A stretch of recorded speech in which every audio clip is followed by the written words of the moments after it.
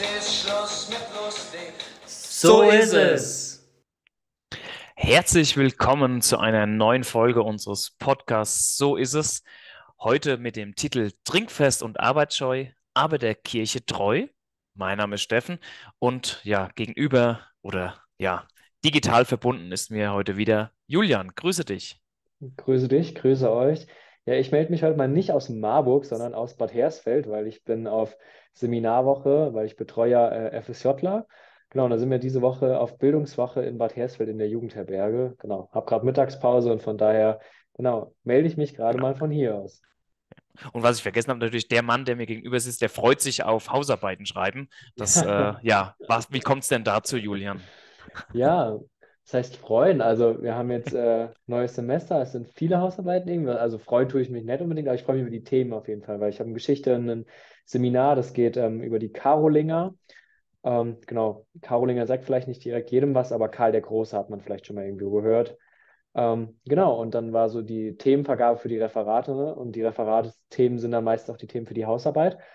Ja, und ich darf über Rabanus Maurus schreiben und irgendwie jedem meiner Rallye-Studenten, die gucken mich an und denken sich so, wer ist Rabanus Maurus? Und ich als Petersberger Urgestein denke mir so, ja, das ist genau der Mann, wo ich gern drüber schreiben würde. Also ja, läuft auf jeden Fall. Ja, ja, sehr gut. Ja, Rabanus Maurus ist ja auch so ein bisschen von daheim noch. Hört man, hat man ja schon oft gehört und Ja. ja, Da ist man heimatlich ja, verbunden, ne? Und das passt ja irgendwie auch ganz gut zu unserem heutigen Thema, ne? Heimatlich verbunden, Steffen? Ja, weil haben wir beide, denke ich schon, oder du bist noch mehr wie ich vielleicht, aber denn es geht heute, wir sind ja weiterhin bei so Aufgaben, Dienste, Berufe, so von Kirche, hatten letztes Mal die Messdiener und dann ist es oftmals so, hat man dann die Möglichkeit, wenn man dann 15, 16 ist, äh, Gruppenleiter, Gruppenleiterin zu werden. Und darum soll es heute gehen. Und da gibt es manchmal so diesen Spruch, den die Gruppenleiter eben auch bringen. Deswegen trinkfest und arbeitsscheu, aber der Kirche treu. Ja. Das weiß ich noch. Ich habe das das allererste Mal gehört im Zeltlager. Da war ich, da war ich, glaube ich, neun oder so. Und es, bei uns war das Tradition früher, dass man Fußball gegeneinander gespielt hat. Gruppenleiter gegen Krüpplinge. Das war immer so im Zeltlager das Mhm. eine Match, wo dann, Ja. also manchmal gab es noch ein Rückspiel, aber normalerweise gab es immer ein Match, wo dann irgendwie gefühlt 80 Kinder gegen 20 Gruppenleiter gespielt haben. Und das war auch so ganz random, weil die Gruppenleiter dann immer so professionell, die sind dann eingelaufen und dann stand wie so eine Fußballmannschaft da und alle dann so Trinkfest und Arbeitsscheu, aber der Kirche treu. Und irgendwie das, von da habe ich das irgendwie geprägt gehabt. Also das ist so, so ein Lied, was mich irgendwie auch begleitet. Ja, ja. Ja, ist ja gut. Gruppenleiter, ich kenne jetzt kein Gruppenleiterlied, ja, von früher, von den Schönstadtbewegungen, da war es immer die Bonifatius-Hymne. Wir haben auch so ein Fußballspiel gehabt, auch ganz offiziell mit Hymne und so. Ja. Aber Gruppenleiter spielen ja nicht zumindest vorwiegend Fußball, sondern haben ja auch ganz viele Aufgaben, ne? Du bist noch näher dran. Weißt du noch, wie es bei dir so begann? Oder gab es für dich überhaupt die Frage, ich mache keinen Gruppenleiter oder? Also für mich war, also gut, Messdiener hatten wir es letzte Woche ja schon mal, da war so, so, ja gut, Messdiener wird man dann irgendwie, gehört halt irgendwie dazu. Und daher, dass meine Schwester so gesehen immer so ein Step vor mir war, konnte ich mich so ein bisschen daran orientieren, was sie gemacht hat auch, so ein bisschen so auch als Vorbildsrolle. Und für mich war dann irgendwie auch klar, ja, ich will auf jeden Fall Gruppenleiter werden. Und ja, ich muss auch sagen, dass ich mich auch sehr an meinen Gruppenleitern damals orientiert. Das waren schon auch Vorbildspersonen für mich. Ähm, auch wenn wir immer mal auch ein bisschen Zwercht miteinander hatten. Ähm, ich glaube, wir waren unbedingt nicht die, die nettesten Krüpplinge, aber ähm, ja, und daran war dann für mich irgendwie klar, Gruppenleiter zu werden. Und dann war so ein bisschen so das Ding, ab welchem Alter. Ich war damals schon mit 14 Gruppenleiter. Ich will jetzt nicht sagen, dass das krass war, aber man hat mich gebraucht, weißt du, ich war da. Nee, also dann, wir haben dann so einen Crashkurs gemacht, ähm, weil es irgendwie so hieß, so erstmal gut irgendwie so einzusteigen, weil man irgendwie, glaube ich, den Gruppenleiterkurs damals erst mit 15 respektive 16 machen durfte. Genau, dann haben wir so einen Crashkurs gemacht und dann beginnt man so mit den einfacheren Aufgaben irgendwie. Klar, dann kommt Zeltlager, eigentlich erstmal mit Messdienerstunden. Das war so die allererste Gruppenleitertätigkeit, die für mich im Mittelpunkt stand. Ja. Ja, bei mir war das ganz anders eigentlich. Da gab es ja so diese Messdienerarbeit, sondern da wurde die Messdienerarbeit vom Pfarrer noch gemacht, so wirklich auf dem Dorf. Und dann, wir hatten dann eine Jungengruppe ähm, Okay. mal eröffnet. Da waren wir dann Gruppenleiter. Ähm, und eben durch meine Schönstadt-Tätigkeit, da war das dann offizieller. Da hatten wir dann noch Gruppenleiterschulung. Mhm. Ähm, ne, in Dietershausen ist ja die Schönstadtbewegung und da bin ich dann mitgefahren auf Zeltlager und so weiter. Also war ich da eher verbandlich, sag ich mal, anstatt in der Pfarrei organisiert.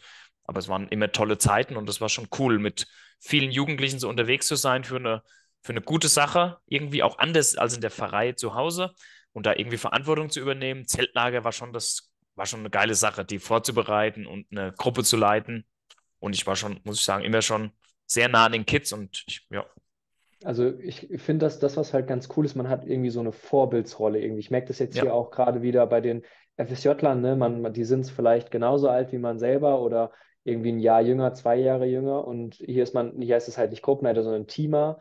Ähm, aber man hat trotzdem irgendwie so eine Connection zueinander, dass, ich will jetzt nicht sagen, die zu einem hochschauen, aber irgendwie schon auch den Respekt haben, irgendwie das so wertschätzen, was man auch macht. Und das ist ja das auch, klar, ich sag mal, wenn man dann Messdiener hat, die sind dann neun Jahre alt, man ist dann selber 15, 16 vielleicht, wo ich sage, ja, die natürlich ein Neunjähriger, der, der freut sich noch mehr darüber, irgendwie Räuber und Gendarmen zu spielen, ne? Aber hier merke ich zum Beispiel, je älter die äh, Kids auch werden, desto mehr freuen die sich auch darüber, mal irgendwie auch mal ein Gespräch zu führen, mal irgendwie einen Ansprechpartner zu haben, so hier, keine Ahnung, ich würde mich gerne mal darüber unterhalten. Und da merke ich auch, dass diese Gruppenleitertätigkeit einem total selbst auch gut tut. Ich weiß noch damals, in Künzel im FSJ hattest du mal ähm, bei den Firmlingen gesagt gehabt, dass das Gruppenleiter sein eigentlich gar keine Nachteile hat, weil das so viele Vorteile eigentlich auch mit sich bringt, auch mal vor Leuten zu sprechen, mal Verantwortung zu übernehmen. Und ich finde, ähm, einerseits, dass das die soziale Ader von einem fördert und andererseits einem auch in seinem späteren Lebenslauf auch nicht schadet. Ne? Also kein Arbeitgeber sagt, oh, du warst Gruppenleiter irgendwo, du hast dich sozial engagiert, deswegen will ich dich nicht haben. Also Ja. deswegen finde ich es eine super Sache. Ja, also das hat schon wirklich, auch da im Leben, glaube ich, wirklich, ob es im Beruflichen dann ist oder dann auch wirklich privat, wo man sagt, so, dass man irgendwie da auch an Persönlichkeit wächst.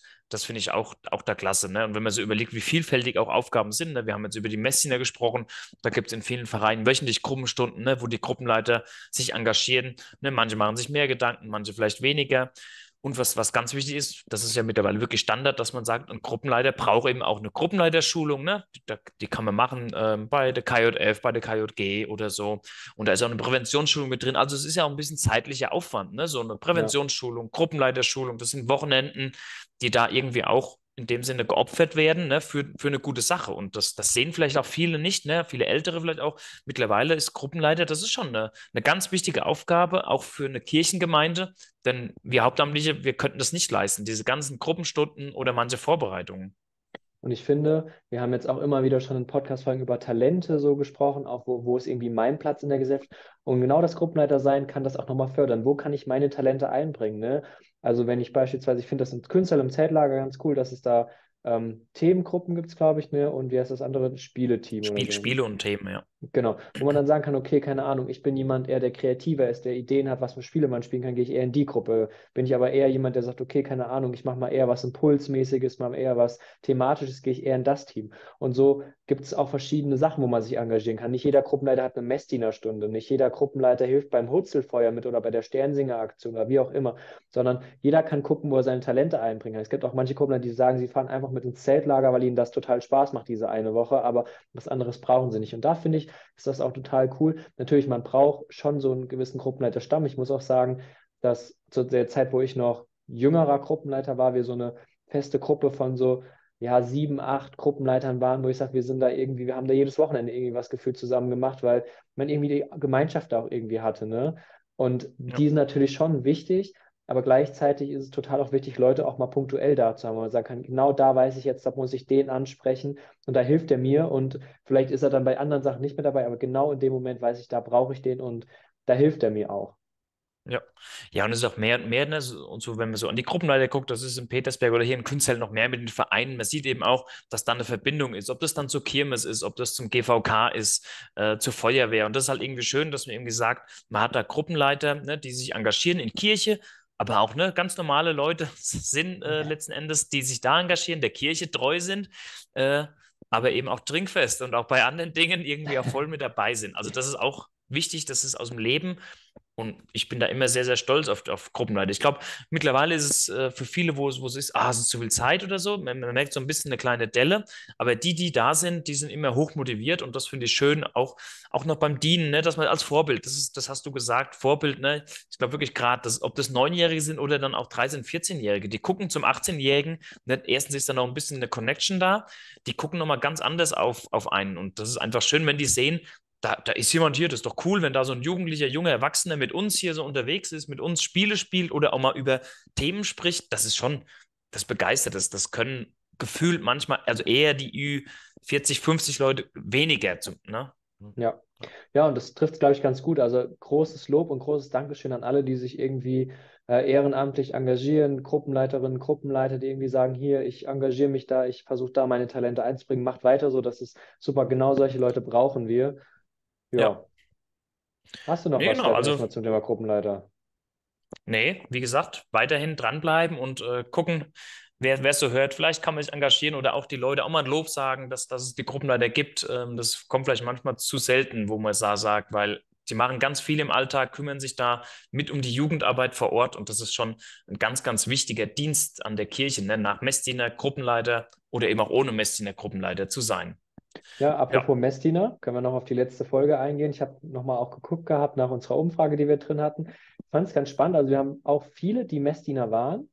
Ich glaube, irgendwie 15, 20 Leute haben, glaube ich, gesagt, sie sind Messdiener, aber auch 10, die gesagt haben, sie sind keine Messdiener. Also auch nochmal hier zu sehen, also Messdiener sein ist nichts Selbstverständliches und ne, Ja. wir hatten es letzte Woche. Es sind, früher Ja. war es eben nicht so, dass jeder Messdiener sein konnte. Also von daher engagiert euch, bringt eure Talente ein und genau, bleibt der Kirche treu, ne?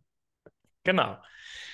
Ja, das war's zum Thema Gruppenleiter. Jetzt schauen wir noch auf unser sportliches Highlight und die Tipps. Die hatte Julian ausgewertet, ne? Die Letzte Bayern waren Woche. richtig getippt und der Rest Gladbach, Hoffenheim, ach, kannst du Donne kloppen. Kannst du vergessen. Und wir steigen vielleicht noch ab, das Halleluja. Naja, Tja. scha schauen wir mal auf die Aber du trägst ja. Gladbach heute, ne? Du trägst ja Gladbach. Man muss immer zu seinem Verein stehen, auch wenn es Genau. nicht läuft. Ja, Samstag, Steffen, Bayern, Frankfurt. 15:30 Ja. 2-0 für die 2-0 Bayern. für die Bayern. Frankfurt ist ja so ein Angstgegner eigentlich, ne? Aber wenn dann nur in Frankfurt, ne? Also in Eher, München. eher in Frankfurt, ja.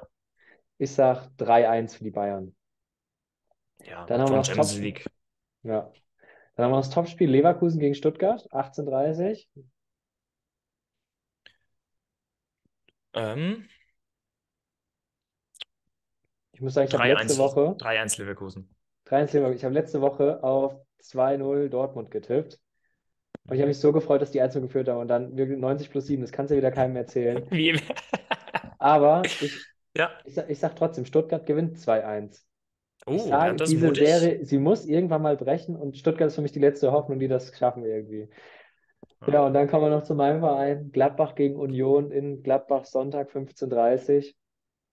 Was sagst du, Steffen? Schaffen wir die drei Punkte, dann sind wir vielleicht safe. Ah, Wenn wir 1-2. verlieren, steigen wir ab. 1-2 für 1-2. Union. Ja, ich will noch ein bisschen Spannung haben. Und Union hat jetzt das Debakel, oder was heißt den hohen Niederlagen, die sind, denke ich, die müssen auch noch mal richtig ran.